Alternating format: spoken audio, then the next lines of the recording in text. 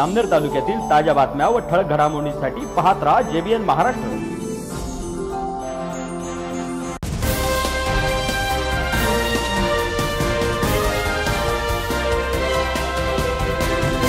नमस्कार मी मिनल चौधरी. पाहूया काही ठळक वृत्त. जामनेर शहरातील भीमनगर येथे महामानव विश्वरत्न डॉक्टर बाबासाहेब आंबेडकर यांची एकशे एकतीसावी जयंती मोठ्या उत्साहात साजरी करण्यात आली.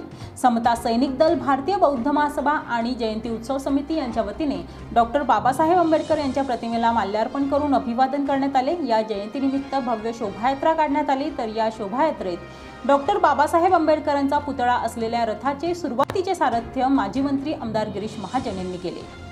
तर सर्व भीमसैनिकांना माजी मंत्री आमदार गिरीश महाजन यांनी आंबेडकर जयंतीच्या शुभेच्छा देत भीमसैनिकांसोबत अगदी दमदार असे लेझिम नृत्य देखील केले. हा भाऊ इकडे बघा इकडेच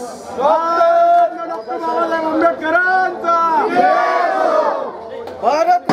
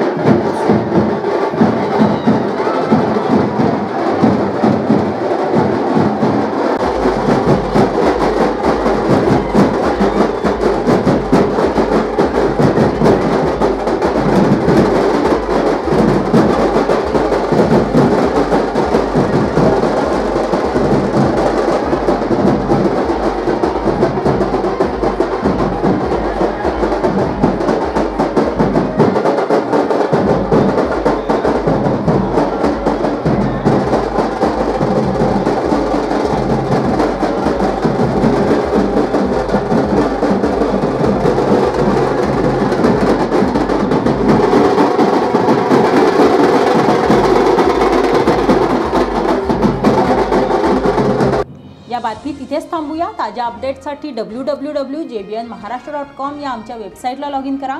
तसेच यूट्यूबवरील आमचे व्हिडिओ पाहायला विसरू नका आणि Google play स्टोअरवरील J B N news app download करून J B N Maharashtra news channel live पहा. नमस्कार.